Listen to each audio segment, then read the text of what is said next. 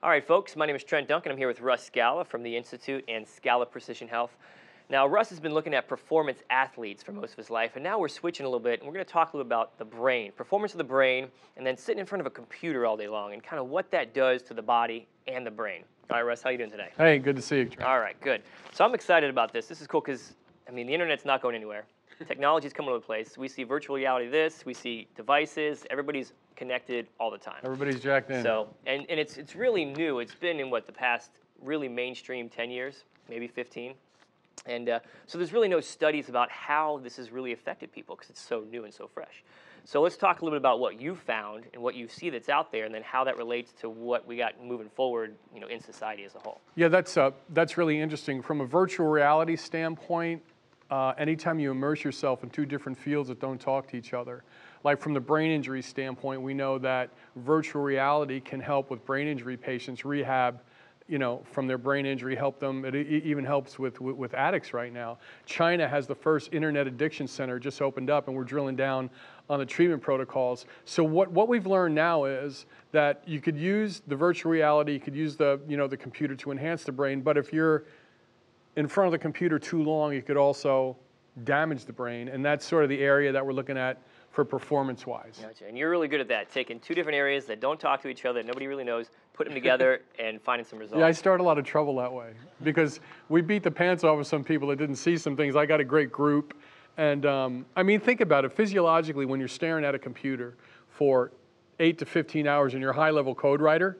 What's going to happen physiologically to your body? So we just run some tests and we talk about what's happening because a lot of these people end up going south and they don't know why. And, and that doesn't have to happen. Yeah, well, eight to 10 hours is a, is a slow day for a code writer, but even just a normal person that sits at a desk all day long, because we see more and more of those jobs. So let's talk about, so physiologically, humans we know we're not meant to sit. For centuries, we were hunter gatherers. And so now, the last hundred years, we've been sitting in front of computers and have a lot of desk jobs. So we're not physiologically meant to kind of sit down. So what happens to the body and the brain when we do sit in front of computers or just at a desk or a workstation all day long? You know, obviously, when you sit and you don't move, the inflammation response could kick in. And, you know, a lot of people are gaining weight. We have an obesity epidemic. So that combined with sitting, sitting is supposed to be the new smoking. We are hardwired to move. You know, millions of years ago, when we were hunters and gatherers, we used to get up and walk 10 to 15 miles for food. You know, now some of the computer people that I work with, when we're trying to look at their workspace and improve performance, they're sitting for eight hours. They're banging down the Skittles and the and the and the high sugar drinks to maintain their brain chemistry, which is cool. We're just trying to shift their body over from a performance standpoint. So so sitting too long can definitely impact the brain performance and it could actually lower neurotransmitters in your brain. These are feel good chemicals that keep us happy. So when you're staring at that computer for eight to 10 hours doing what you do best, writing code, like, like a lot of our clients, you're going to de- decrease your feel good chemicals, serotonin, dopamine, adrenaline. And that's what you got to be aware of. So we want to educate these companies that we're working with. If these people get symptoms and they go into traditional medicine, a doctor's not going to know how to treat a programmer. Just prescriptions and drugs. Yeah, he's going to write write Xanax and Prozac. Okay, so that's one of the one of the kind of focus on because you're sitting there in front of uh, a computer. Obviously, your body's not moving a whole lot. Right. But your brain is constantly because you're analyzing everything that goes on on the screen and stuff. So your brain is actually working in overdrive. So that's why a lot of the chemicals in your brain are just get depleted, correct? Yeah, exactly. That I'm glad you said that. Even when you're sleeping, your brain is metabolically active. Um, you know, you, uh, you have about a thousand teaspoons of blood in your body and about one teaspoon of sugar. So when you jack up too much sugar, it's going to cause your brain to work overdrive. And believe it or not, when sugar burns in the brain on a cellular level, creates a lot of smoke, okay. free radical damage. So we're actually shifting computer programmers over to a ketogenic diet where they're more focused and more dialed in. And we have specific programs to increase their performance by just shifting their brain from burning carbs to burning fat. It's, it's truly phenomenal. And less sugar, less carbohydrates, more fat. More fat. All right. Oh, my God. Oh, God. more fat. What's that going to do? All right. So tell us about these mirror neurons because those are kind of a hot topic out there. And what have you learned about them? Yeah, this is this is really interesting. From a uh, again, neurology is moving so fast. Medicine is moving so fast. They're making discoveries really quick. Um, and it's changing the landscape in neurology. I mean, I sit down with the neurologists and talk to them. Mirror neurons was just discovered a short time ago. And what we found out was um, if you're looking at a golfer, okay, and you're, and you're watching him make a putt on TV, it lights up certain parts of your brain. Now, if you putt, try to putt you know, a golf ball into a hole on, on, the, on the green. It'll light up certain parts of your brain. We can see it in MRI. And what mirror neurons do is whether we're watching it on TV or we're doing it ourselves, the same neurons are lighting up. So now, if somebody's paralyzed or they're not, or, or, or they've got depression or, or they've got an illness, we know that the virtual reality can actually stimulate certain neurotransmitters that'll help with neurogenesis to light up those pathways. We never knew that before. I mean, the, the neurologists that I spoke to think that the mirror neurons is comparable to landing on the moon. That's how interesting this is and where it's going to take neurology in the next few years because we, we never knew by watching something we could actually start to heal our brain. Um, so, what we're talking about here is virtual reality can cause healing when it's done the right way, and then being in front of a computer for over 10 to 15 hours can cause damage. We got to find that balance. Most people aren't looking at virtual reality as healing. They're looking at it as a fun gaming or performance or other kind of stuff. But the healing aspect is super important. Well, we know that people that use virtual reality are able to their reaction time quicken, so they're using it for sports uh, performance. I, I, like to take it to the next level because one of my uh, one of my best friends and, and a client is a songwriter. He's lead singer in a band. Him and I are always brainstorming on content. My feeling is with brain injury patients that if we use virtual reality and, and play the songs that they're used to hearing in that era and, and showing them virtual reality uh, uh, uh, healing properties of, of, of what they've been, whatever sport they've been doing. If they're sitting in there in bed, they hear the music that they're used to, and then they're, they've got the virtual reality headset on that's lighting up certain neurotransmitters in the brain. I think both these can be used as a healing process moving forward. And I know that that sounds crazy, but I mean, that, that's how we think. but neurologists can also see this. They see this going on in the brain. When they do the brain scan, they can see the stuff. MRIs, fMRIs, yeah, they actually see this in real time right now, exactly. So let's get back to the performance side of things, because obviously a lot of people are sitting in front of computers. Right. A lot of doing work, and the companies have a lot of people that are doing it too. So when these people kind of go south, uh, their companies aren't as productive as they should be. And so a lot of companies rely on these people to be healthy. So right, what yeah. kind of stuff have you seen, what you can do uh, to kind of improve the performance of some of these folks? When I do a discovery on somebody before they see the docs, you know, I got to get a backstory on them, see what they're, you know, I'm dropped into the second act of a third act play, right? So, and a lot of folks obviously don't tell you the truth of what they're doing. So you got to drill down on that.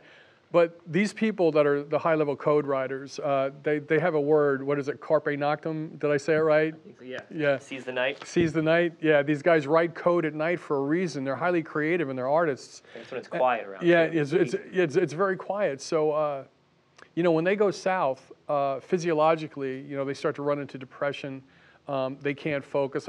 And this is their life. And it may be these guys may be the, the number one people that is making this venture capital startup company.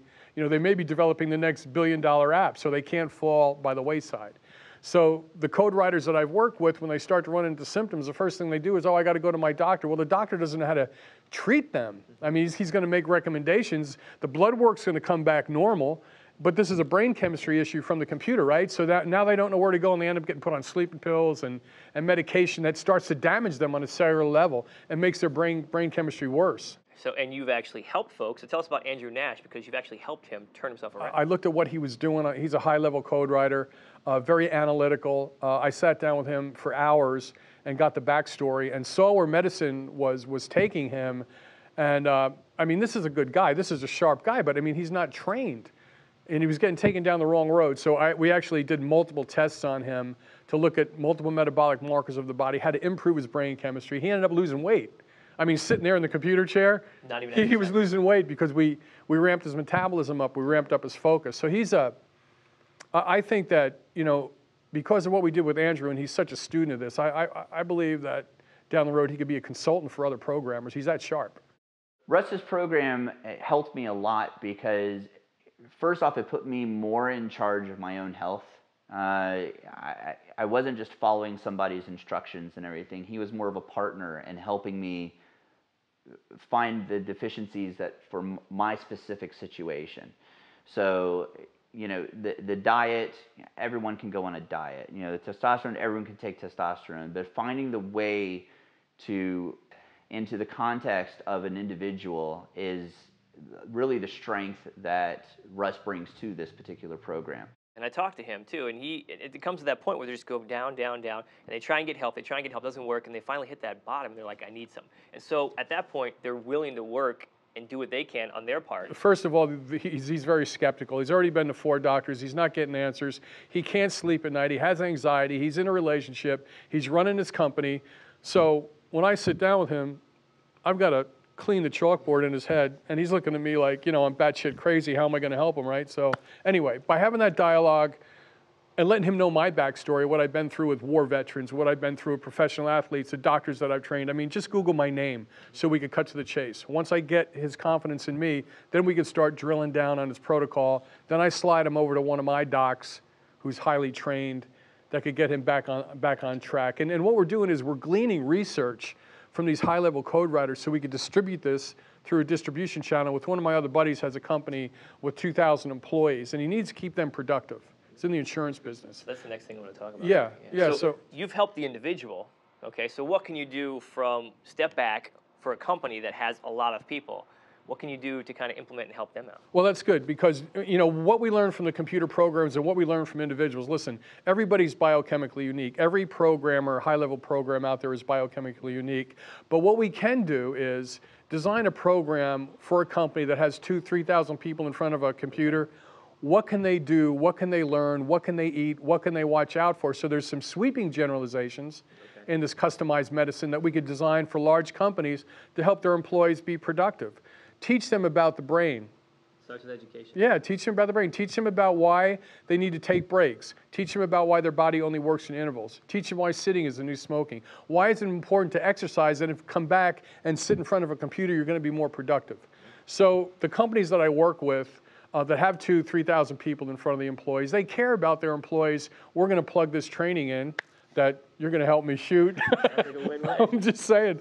So uh, any, anyway, it's going to be the first time it's ever been done in companies. So I'm, I'm, I'm excited about that. They need to be looking at that because we're not getting away from computers or no, technology. No, so. no, no. It's uh, listen. Whether it's your cell phone, whether you're looking at your cell phone, you're looking at a computer, you're answering an email, it causes a little dopamine spurt. Dopamine's our feel-good pr- chemical.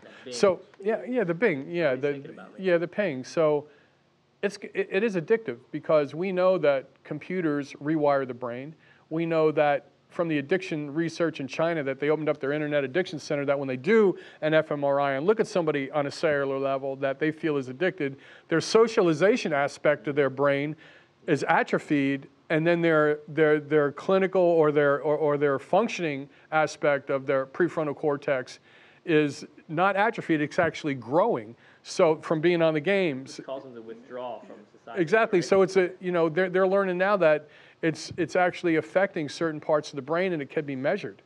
And, and again, we, we never saw that before. So, you know, your children being in front of a computer, listen, it's, it's just like marathon running. You know, you can't keep running marathons because you're going to damage your body. Everybody thinks it's healthy. I was one of those guys thinking, okay, um, the longer I go, my faster race times is going to be healthy. It's not. Being in front of a computer too long, is not healthy. A little bit of virtual reality, looking at the mirror neurons with the right amount of nutrition can be healing. You stay in front of the computer too long, you're going to hurt yourself. You know? Careful, we're going to turn into the movie WALL-E, running around on a little flotation device. Yeah, yeah, that was good. Yeah, that's a good example. That's a good example. Right, that's a quick little highlight: brain chemistry, brain function with the internet, and kind of what Russ Scala can do and his uh, protocols that he can do. If you have any questions, contact the Institute, Scala Precision Health. Right, getting mm-hmm. up and running. Thanks. Thanks, Russ. homie. See you later.